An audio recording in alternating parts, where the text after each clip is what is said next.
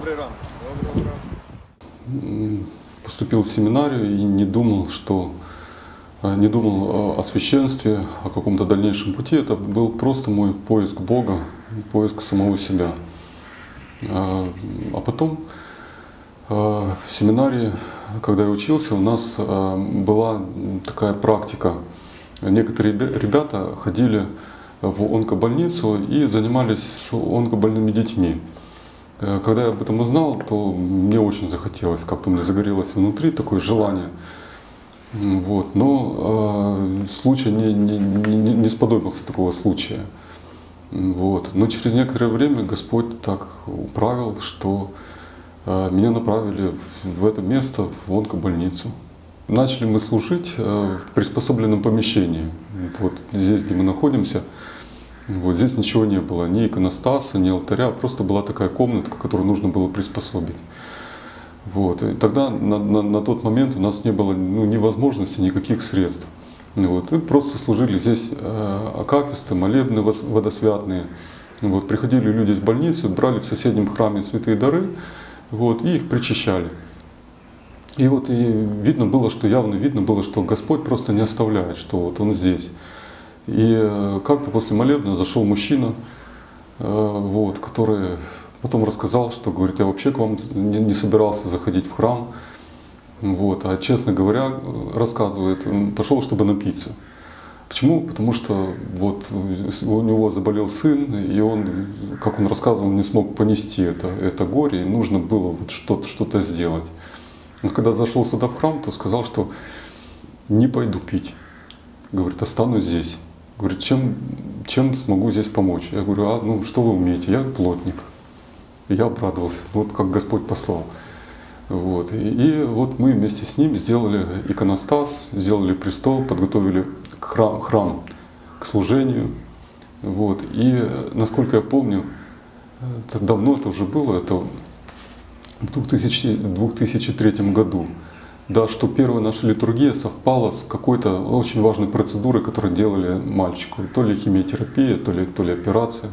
Вот. И мы э, вот эту литургию посвятили как раз этому мальчику, который лечился. Э, Папа которого помогал нам, нам здесь. Приходит в храм не только там с больницы, приходят э, с разных районов Киева, приезжают. Вот. Ну, понятное дело, что все-таки больничное э, служение у нас самое главное. Поэтому и мы стараемся подключать тех людей, которые к нам, у нас, ну, как общее, а единое такое духовное делание и к э, помощи больным. Наши дети бывают очень, знаете, вот так, когда, как- когда э, есть возможность, они общаются с детишками э, из больницы, дружат с ними. Вот. Вместе играют на, на, на церковном дворике, да, ходят к ним в гости. И это очень важно для всех. И для детей, которые там лечатся, потому что они в одиночестве, они долгое время находятся в четырех стенах, вырванные из социума. Важно для наших детей, потому что когда они видят, что есть другая сторона жизни, не только э, значит, когда можно побаловаться, побегать, поиграть, там, заняться чем ты хочешь, вот, а что есть и, и, и такой крест. Вот, у многих так оно заставляет э, за- задуматься.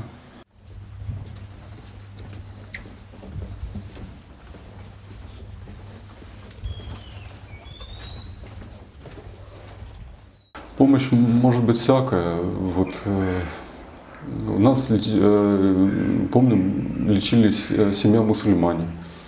Вот, и они нуждались в каких-то средствах, каких-то, ну, в какой-то вот такой вот материальной помощи. Вот, и, конечно, мы помогали, не, не- не- разделяли, что это верующий, это неверующий, это мусульманин или еще кто-то. Вот, и такую помощь, конечно, мы оказывали, да. Но это уже дело веры, это личное дело человека, да. Когда образовался наш приход, это было в 2003 году, то здесь в больнице не было э, фондов, волонтеров. И э, самое необходимое было, самое вот, катастрофическое, не хватало доноров. Э, Буквально мамы в отчаянии чуть ли не на- улице хватали там прохожих людей, что когда нужно срочно. переливания крови, и от этого зави- зависит жизнь ребенка. Да, и понятное дело, что мы ну, взялись как-то помогать в этом. Да, и создался, э, подключились волонтеры, наши прихожане, создали сайт. Вот. И на этом основании развилась такая даже всеукраинская ассоциация помощи онкобольным детям. Мы инструмент в руках Божьих. Вот. И когда Господу угодно,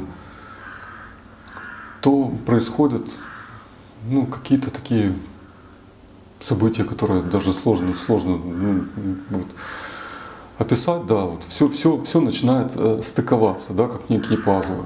Вот я познакомился с одним человеком, который, э, значит, он занимался тогда э, программированием, он стал нашим пономарем, мы с ним подружились, он создал этот сайт.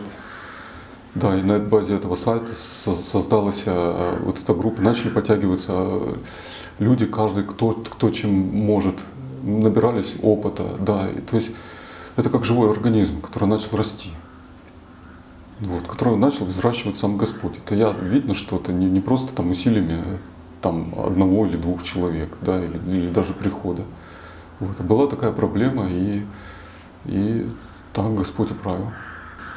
Знаете, зачастую это происходит э, все, ну так по-христиански, когда не афишируя. Сколько раз было таких случаев, когда ну, э, ты видишь промысл Божий, когда кто-то приносит какие-то средства, говорит, отдайте кому-то, кому сейчас важно, кому это нужно. Вот тут через буквально сразу же приходит мама и ребенка и со слезами говорит нам очень необходимо сейчас. Ну вот. И оказывается, там в этом конверте именно столько денег, сколько им сейчас надо. Да? Вот. И, че- честно говоря, уже даже не удивляешься этим чудесам. И дети, и родители — это одна семья, это одно целое. Вот. И когда мы идем причащать детей, то я думаю, что это огромное, большое утешение для верующих родителей. Да, и это и есть духовная помощь и родителям, и детям. Периодически приглашают врачи и заведующие отделением, и другой персонал, чтобы осветить, пройтись по палатам, покропить. Вот, и говорят, нам это очень нужно, нам это помогает. Некоторые вра- врачи есть верующие, которые приходят в храм, стоят на службах, исповедуются, причащаются, молятся. Я помню, э, была здесь заведующая, э, работала заведующая одно- одного из отделений, э, вот, и они э, приходили вот сюда, в этот храм, она при- приводила своих э, пациентов. И говорит, вот мы сначала пособоруемся здесь, вот, поисповедуйтесь, причаститесь, а потом с Божьей помощью вот, будет процесс лечения. И, и у нее всегда был хороший результат. Священнику в этом месте нужно быть очень внимательным, очень осторожным. Э, Я помню, э, на, одной из конференций одна девушка рассказывала такую историю. Она опекала, как волонтер, э, ВИЧ-инфицированного мужчину молодого.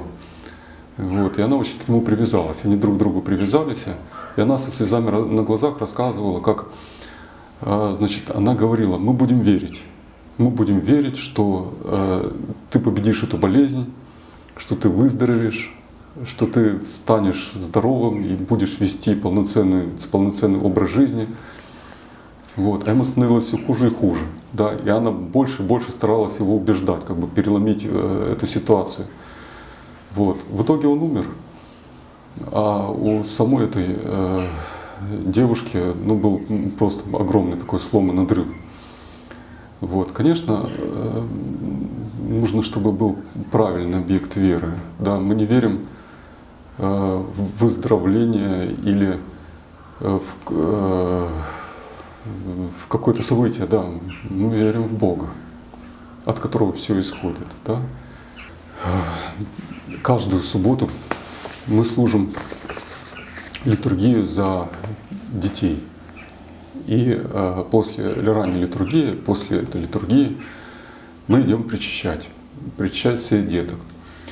Вот. И э, я вижу, я понимаю, что есть такие вещи, которые ну, невозможно там э, разговорами или какими-то словами да, э, изменить или повлиять. Но когда Господь приходит, то ему все возможно.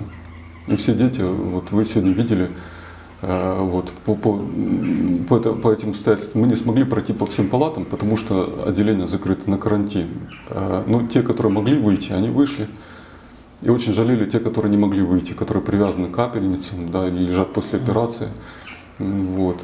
Потому что они чувствуют, они знают, да, что это, это помогает, это действительно влияет. Это поддержка, это фундамент, mm. это посещение Божие. Mm. Очень ценное, да, очень ценное здесь.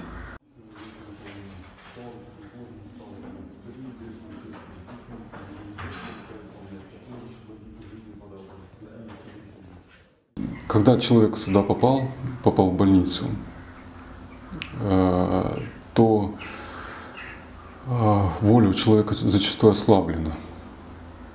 Вот. И э, сделать какие-то решающие там, шаги, что-то, довольно сложно бывает. Хорошо, когда человек, у человека было уже основание, когда он, может быть, родители водили в храм, да, или сам он ходил в храм.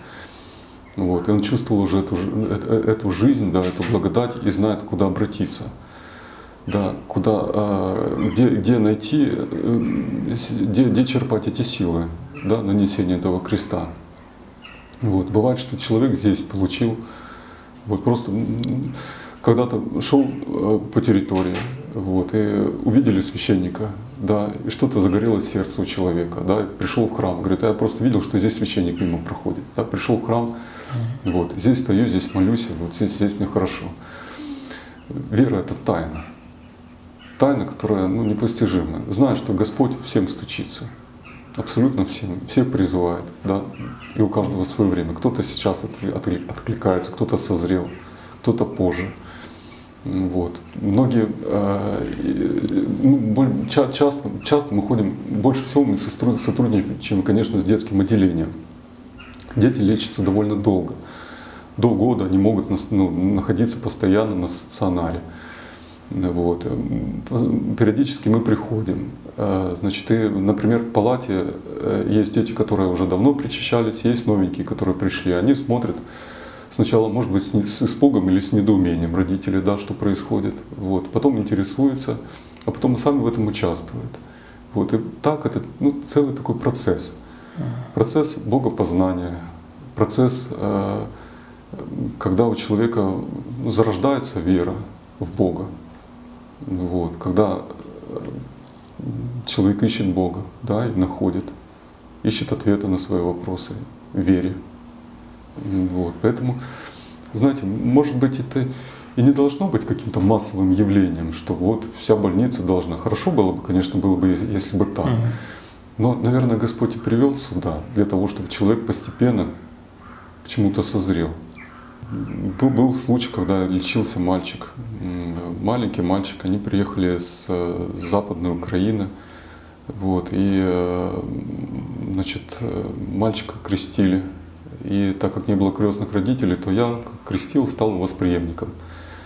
Вот. Сейчас он уже вырос и учится в Почаевской семинарии.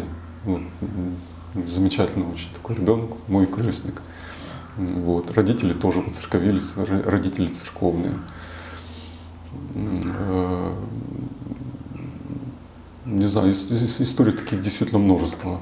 У каждого человека есть свобода, да, и каждый человек этой свободой пользуется. И Господь никого не принуждает.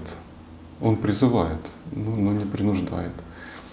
Знаем многих родителей, которые здесь церковились которые потом э, жизнь свою связали с церковью. Знаю тех, которые э, приходили сюда и э, когда, когда лечились в больнице, приходили в храм, очень радовались, когда приходил священник. Вот. А потом, когда уехали домой, то и приезжали потом сюда на проверку, я спрашивал, как ваша духовная жизнь. Вот они говорят, знаете, здесь было удобно, тут батюшка приходил, вот, храм рядышком, а мы в селе живем, там не так удобно, поэтому мы уже не получается ходить. Дети, многие ассоциируют священника с самим Богом. Вот недавно мы говорили с одной мамой, у которой ребенок уже умер, и она делилась воспоминаниями. Говорит, когда э, вы приходили в палату, то она хлопала в ладоши так. Вот, Господь пришел, Господь пришел. Вот, к другой девочке я приходил в, э, в хоспис вот, причащать ее. Она была- уже была слабенькая, но она тянула руки вот так ко мне, чтобы я наклонился, и она меня обнимала. И я понимал, что она обнимает не меня, она, она обнимает Бога.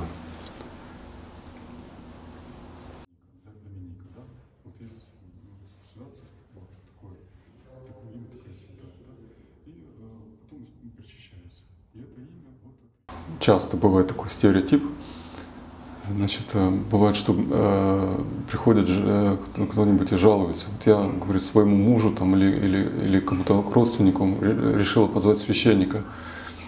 Вот. А у него сразу противление. Что, меня уже хоронят, мне уже все.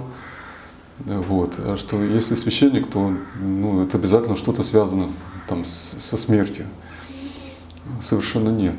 Да, священник это то, что связано с жизнью. Вот. Ведь Господь это жизнь. И суть того, что э, смерть побеждена Богом. Да? И поэтому, если мы говорим, то мы говорим не о смерти, мы говорим о жизни.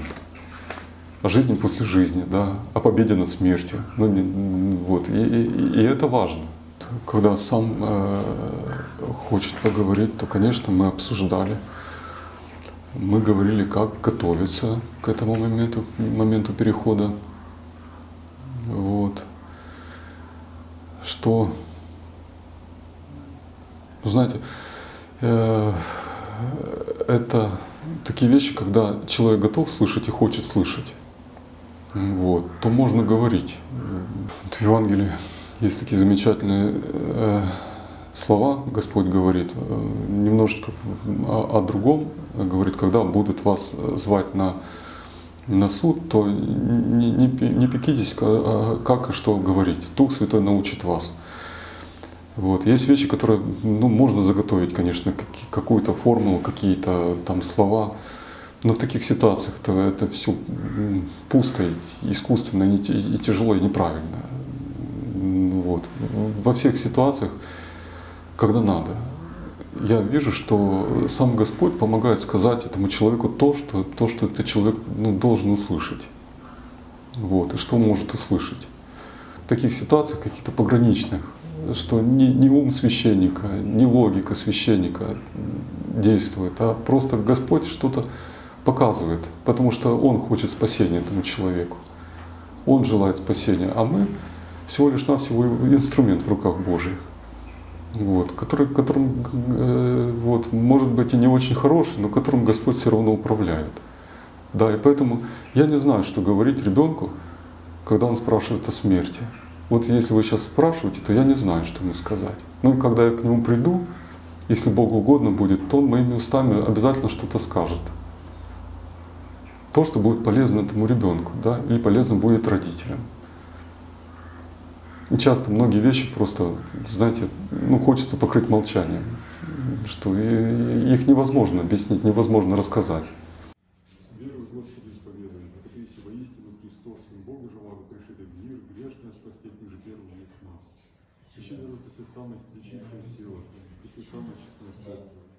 Я точно не знаю за что. Если Господь за что-то дал, то Он и ответит этому родителю. И, вот, и родители должны сами найти. Может быть, ни за что, для чего. Это целый процесс. Процесс поиска, да, смысла. А для чего я здесь? А какой смысл моей жизни? И важно, чтобы человек сам нашел ответ на этот вопрос, чтобы сам спросил Бога. А Господь ответит, обязательно ответит. Не оставляет, никогда не оставляет. Бывает, конечно, какие-то доброжелатели, которые утешают в кавычках так родителей, что да, это тебя Господь наказал. Вот, конечно, а, если, если а, так воспринимать Бога как карателя, ну это совершенно неверно. Вот. Мы знаем, что есть Госп- Господь, есть любовь, есть промыслитель, что ни один волос с нашей головы без воли его не падает. Знаете, я а, вот вспомнил а, в житии святителя Савы Сербского, ну просто так от, отвлеченно, чтобы, может быть, как-то пояснить. Ну, можно пояснить как-то иллюстрационно. А, был такой случай, э, когда он был еще молодым монахом на Афоне, значит, он вел такой очень добродетельный образ жизни. Он те средства, которые ему пересылали, э, так как он был сыном э, короля, то ему пересылали сербского, э, пересылали какие-то средства, он ходил раздавал. Вот, его очень любили. Очень любили подвижники, монахи, отшельники. Вот, и как-то увидели, что при очередном набеге пиратов на Афон его пираты взяли в плен. То есть взяли, связали, взяли этого юношу и вместе с награбленным значит, садят в лодку, чтобы э, отвезти и продать его куда-то в рабство. И один старец, который э, очень горевал, очень жалел, очень любил этого юношу, э, чтобы спасти его, подошел к этой лодке, нагруженной, награбленным, в котором сидел этот юноша, и со всей силы, как даст пощечину молодому монаху. Что ты тут расселся? Ты забыл, что ты на послушании что ты должен работать, что, что, что, э, какие обеты ты давал, послушание своему старцу, чего ты тут расселся. Тот вскочил и побежал. Разбойники, э, как говорят сейчас, были в шоке, они, они не смогли сориентироваться, что это такое было. Они все ожидали, ну не, не, не, не, то, не, не то, что значит, будут бить этого монаха, который, которого должны были жалеть. Но другого пути, способа спасения просто не было когда они узнали, кого они потеряли, эти разбойники, они вот рвали волосы на голове. Да. Вот. Поэтому бывает, что Господь, наверное, мы, а, опять Феофан Затворник говорил, что промысел Божий непостижим. Если ты будешь разбираться в этом промысле, ты обязательно согрешишь. Поэтому я не, не берусь разбираться в промыслах Божьих. Но я только знаю, что если человек смирится, то тогда этот промысел для человека будет обязательно благим как-то пощечина для святителя Савы Сербского. А, один фонд э, значит, сделал э, такую, как называть, а, акция, действие. Да? Они собрали э, родителей умерших детей и занимались с ними ну, психологической работой, подготовкой. И вот и позвали меня как священника – Значит, и когда я пришел, то подавляющее большинство этих родителей значит, ну, были очень, как, очень ну, сложно настроены. Мне сказали так, вот, что вот вы будете адвокатом Бога. Вы сейчас будете отвечать, да, почему Бог так поступил с нами. Это было очень тяжело на самом деле, да. Разве можно сказать за Бога? Да? Почему? Опять это только, только человек, когда э, смирится, когда примет, когда познает Бога, когда захочет услышать самого Бога, то получит ответ. Но если он воспротивится да, и ополчится на Бога, ну, это, это, это очень страшное состояние. Вот, это очень страшное состояние, и очень тяжелое состояние. Ну, я сказал, что Бог не нуждается в адвокатах. Вот, я э, сказал, что говорил, что э, знаете, там очень тяжелый был разговор. Вот, и как бы то ни было, я показывал, что что бы ни было, я люблю своего Бога. У меня пятеро детей, я понимаю, что и э, меня может не миновать и этот крест. И те дети, с которыми я общаюсь, с которыми долгое время их причащаю, дружим с ними, вот, когда они уходят, конечно, это очень больно. Вот, но э,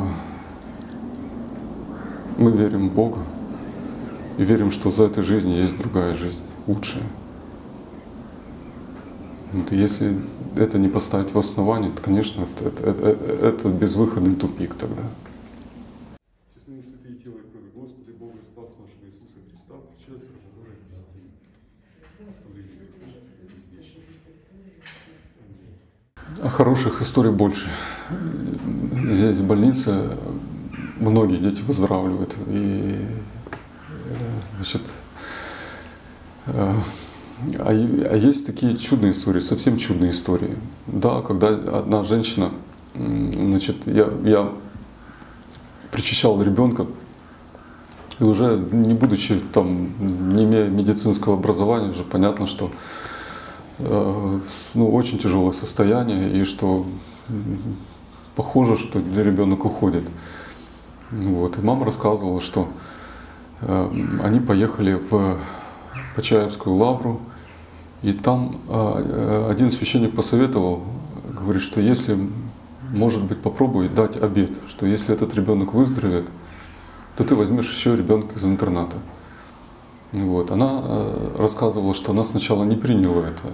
Говорит, как, это ж ну, тяжело. Потом, когда прошло время некоторое, и она уже была одна на руках с умирающим ребенком, она вспомнила это и говорит, как в сердце загорелось. Встала на колени и с рыданием сказала, Господи, если спаси моего ребенка, а я вот обед такой сделаю, что дам, что я возьму ребенка из, из приюта. И говорит, к- ее даже страху удивлению, тут же ребенок перестал от боли плакать. Когда у него боль была, да, вот успокоился. И вскоре она пошла по месту жительства в больницу и получила такой довольно жесткий такой от врачей, говорит, что вы нам голову морочите, какая онкология, ничего тут нету, зачем вы, мама, нас обманываете. И когда ну, приехали сюда, посмотрели действительно то, что вот было в снимке, опухоль это огромная, она, оно, оно исчезло. Вот. И такое чудо сотворил Господь, чудо на глазах. Они приезжали сюда. Я не мог поверить своим глазам. Да, тот ребенок, который я видел, что вот она уже уходит, уходящая, резвый, веселый, радостный, ничем не отличающийся от, от- от- от всех других детишек. Точно так же мальчик, у которого была э, очень сложная болезнь, саркома коленного сустава, и врачи все, что могли сделать, они сделали, но опухоль осталась. И вот они поехали по Ча- также вот в, Лавре были по Чаевской и молились о Богородице. Ребенок почувствовал себя намного лучше. Когда приехали, тоже они увидели, что опухоли нету. Да, и в знак благодарности они э, заказали там в Почаеве копию иконы Богородицы, да, и она сейчас находится у нас на царскими вратами. Еще один такой случай, который очень так запомнился.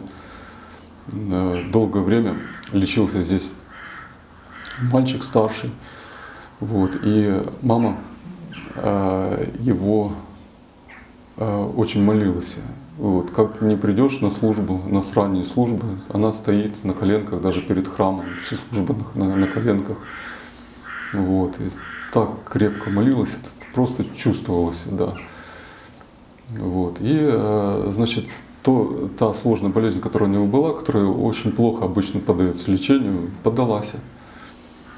Но это еще не, не, не, не завершение этого- рассказа. Да, ребенок выписался, выпис- выписали, поехали домой. Вот. А старший мальчик, он, э, ну, так, у них компания какая-то была в городе. Вот. И выздоровевшись, он пустился во все возможные. Да, начали, вот, как мама рассказывала, начала, начал э, ну, употреблять какие-то там алкоголь или курить что-то такое. Мама поняла, что это, это, не- не- а, избавление от онкологии это, это еще не, не самое важное. Есть вещи, которые намного поважнее, да, это, это душа, чтобы душу от греха избавить. Она продолжала точно так же молиться. И, э, значит, э, то, что у него было на, на коленке, у него начало, э, ну, протез начал какие-то процессы. Появился свищ, начал, начала течь гной, жидкость, и снова больница. И снова больница. И прошло довольно много времени, пока этот ребенок, мальчик, понял, да, что та болезнь, это было ему посещение Божие, чтобы его, наверное, от, от оградить от, от чего-то худшего, более худшего. И когда он уже понял, когда созрел, вот, когда, ну так вот он стал действительно уже зрелым христианином, все, все, все это прошло. И точно мы знаем, что мама вымолила. Теперь он чемпион Украины, если не ошибаюсь, по э, пауэрлифтингу, по жиму штанги лежа, вот, среди инвалидов. Вот, есть его фотография, где э, он с огромными мышцами, просто здоровый человек, а главное, со светлым лицом. Главное, чтобы мама вера была. Был случай такой интересный, э, когда лечился ребенок, ребенок причащался, ребенок тянулся, а у мамы не было веры. Э, не было веры. И значит, когда-то она рассказывала, что приснился, а у ребенка были проблемы с легкими. Значит, был специальный аппарат, должна была быть операция. Вот. И мама рассказывает сон. Говорит, ей приснился ночью накануне операции, которая должна быть. Что, говорит, я начала молиться. Молиться, говорит, на церковно-славянском языке, так как вы молитесь. Я, говорит, никогда так не молилась. Но у меня шла из меня вот эта вот молитва. Я так молилась из-за своего сына, и когда э, вот проснулась, то увидела, что аппарат, который был к мальчику подключен к легким, он не работает. А он может не работать только в некоторых случаях. Либо легкие заработали, и тогда аппарат отключился, либо аппарат сломался. Э, и э, когда значит, сделали проверку, наспех уже мальчика приготовили к операции, она настояла, чтобы проверили, ну, основательно проверили. Оказывается, что аппарат исправен. Легкие заработали. И операция стала ненужной. И вот мы говорили с мамой, ведь явно Господь показал, да, что молись, и все в твоей молитве возможно. Да, Господу все возможно, лишь бы был только ходатай, лишь бы мама вот, этим жила. Прошло время, мама остыла, точно так же она, э, не знаю почему, но очень так холодно и скептически начала относиться снова к, к церкви и к вере. Вот. Прошло время, мальчик умер. Но у меня такое внутреннее ощущение, что если мама откликнулась тогда на этот призыв, и мальчик бы жил, и мама бы радовалась.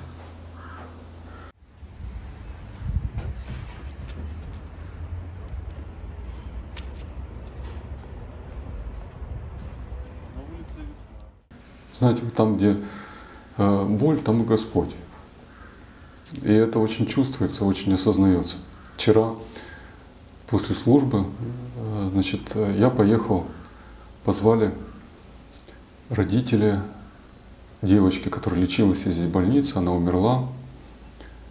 И теперь э, хорошие, очень замечательные такие муж, жена, папа и мама. Вот, папа заболел, папа онкология, папа умирает.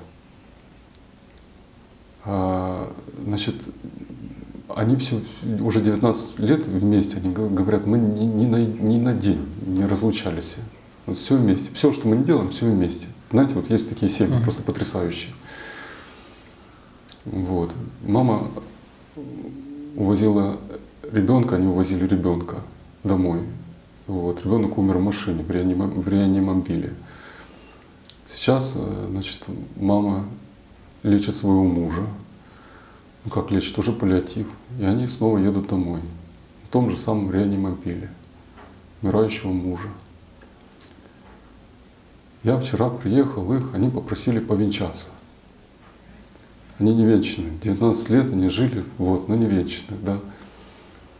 Мы в палате совершили это венчание.